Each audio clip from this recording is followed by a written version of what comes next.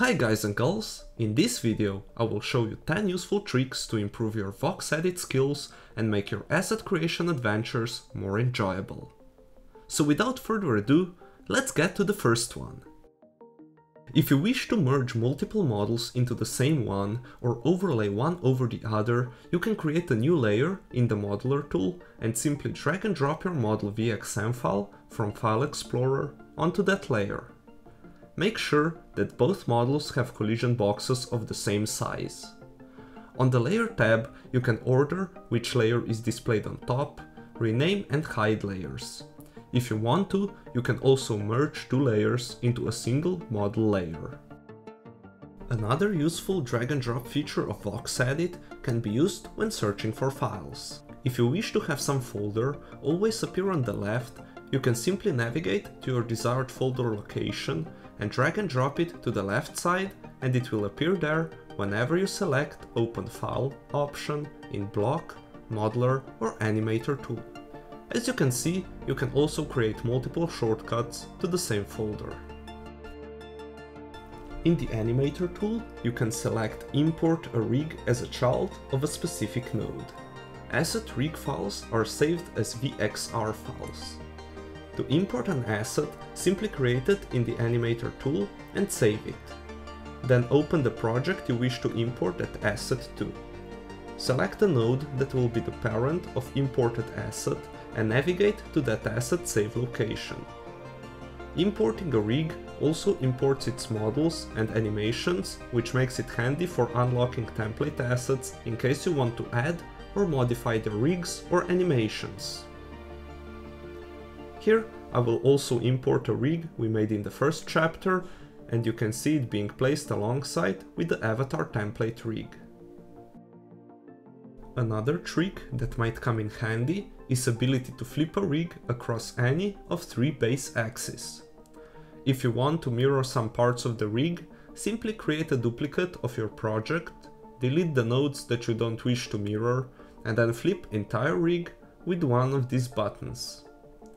To merge the two rigs together, simply use import rig function we covered in previous tip. Just be careful which node you designate as a parent of newly imported rig. Sometimes you realize that you don't have enough space for your entire model.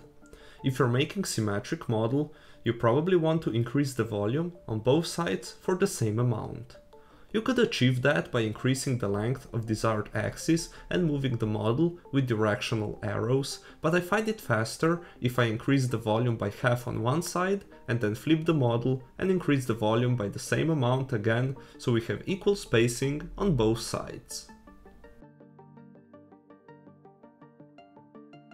Now, if you want to make circular shapes in VoxEdit, I have a separate video dedicated to that topic, but if you wish to make an octagonal shape, this is the optimal way, judging by number of nodes and faces it uses. Simply create a single cross-shaped model and attach it to two nodes. Rotate the child node by 45 degrees. Its main drawback is that it doesn't work nicely for all sizes.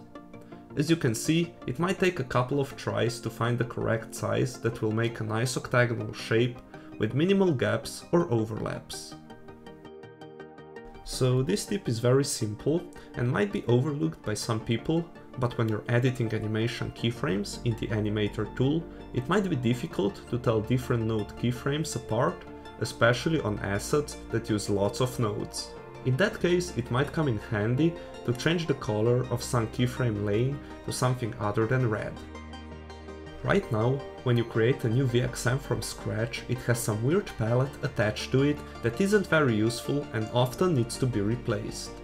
If you're already using a model that has a correct palette for your project, you can simply duplicate that model and rework it into something else instead of creating new VXM importing desired palette, and then starting your work.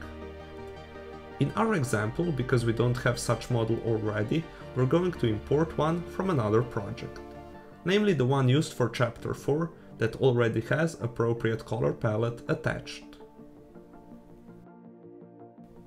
When making stuff from scratch, we can sometimes get carried away with details and forget about proper asset scale.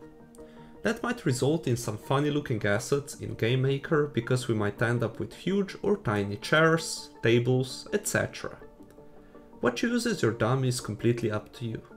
You can create one from scratch by creating dummy avatar asset and importing it as shown in chapter 3. If you choose that path, make sure to delete all unnecessary animations, otherwise they will get imported to your project as well. You may also decide for something simpler, like two blocks stacked on top of one another to get the approximate scale of adult humanoid template. Personally, I like to use a single model dummy with some details as shown on the screen.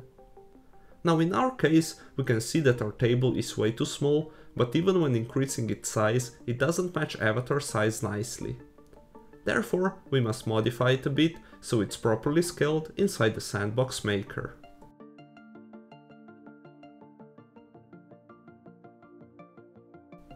And the final tip. Don't overcomplicate your asset. We all want to make super detailed, amazingly looking stuff in VoxEdit, but keep in mind that these assets also need to allow for enjoyable player experience. And while you might have a beast gaming PC, that might not be the case for everybody. Faces and nodes increase asset complexity and make it more resource intensive for the game's rendering engine. Personally, I try to challenge myself to find a sweet spot between face count, node count and how detailed the final product will be. Something that helped me greatly, not just with the face count, but overall development process, is to start building your models from small volume and increase model volume when you can't add any more details.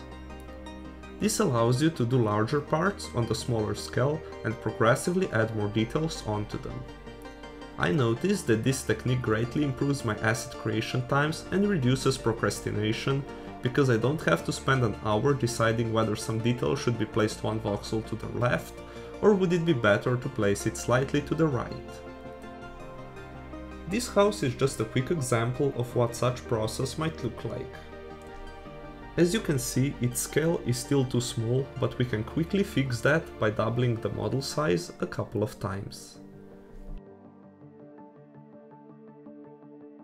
And that's gonna conclude today's video.